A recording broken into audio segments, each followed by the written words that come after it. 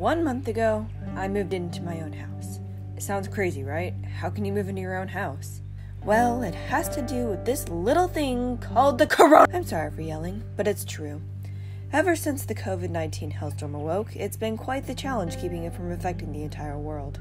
However, we've been fighting it back by doing something I thought would be my greatest dream realized staying home every day with little more to worry about than the occasional assignment. Aside from contemplating my entire existence, I've been spending time familiarizing myself with the home my family and I are quarantined in. Of course, I'm already quite familiar with it, but considering I spend 99% of my time never leaving upstairs, it couldn't hurt to try and find something new in the land down below.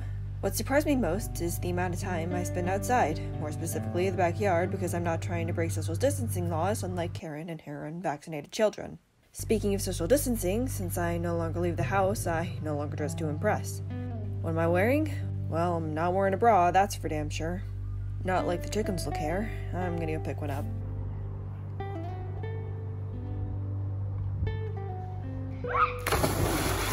Here's to hoping the coronavirus leaves us all sooner or later, preferably sooner. Have a good day and stay the fuck away from me.